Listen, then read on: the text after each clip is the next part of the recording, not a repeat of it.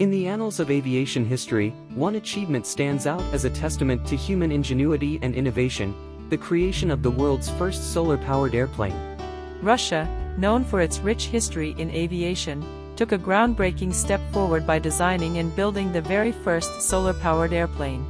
Years of research, engineering, and dedication led to the development of a remarkable aircraft that could harness the power of the sun to soar through the skies.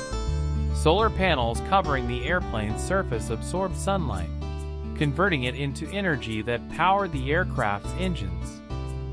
Scientists, engineers, and aviation enthusiasts around the world marveled at this feat of sustainable aviation. As we look back at this remarkable achievement, we are reminded that human innovation knows no bounds, from the pioneers of the past to the trailblazers of the future.